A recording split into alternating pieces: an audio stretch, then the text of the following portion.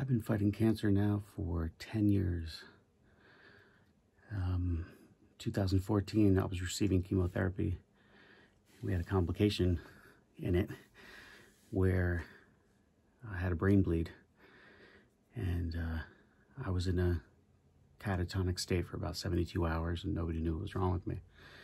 So a courageous doctor at Sloan Kettering in New York City decided to drill into the back of my skull and in achieving that, I woke up um, paralyzed in the OR and with a sheet kind of over my face.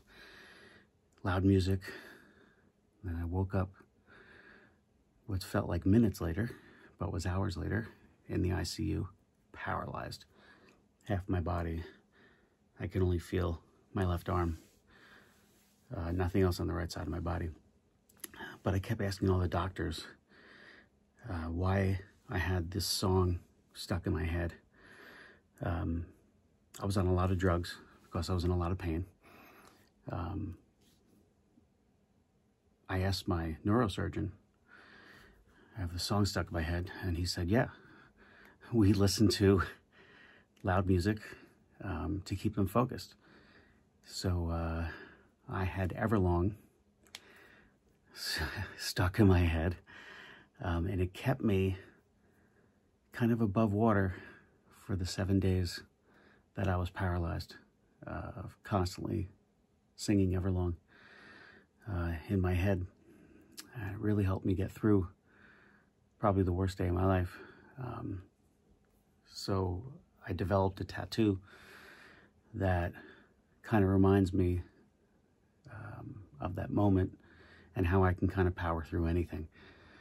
So here on my arm, I have the sheet music from Everlong, my heartbeat in the end, um, my bass guitar on the inside.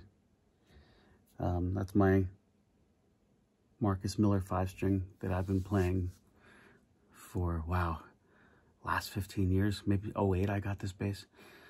Really means a lot to me um, because I had to relearn how to play it when I got out of the uh, when I got out of the hospital.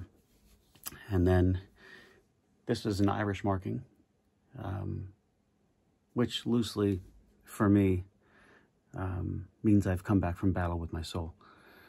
Um, so you see this um, if you're coming towards me in battle. Uh, and this kind of, you know, uh, means that I've retained my soul through all these battles that I've been going through. So if anything, I just wanted to thank Dave um, for writing such an amazing song because Everlong got me through that time when I thought I didn't have time left. So thank you, Dave. I really appreciate it. Thanks for taking the time to watch us. God bless.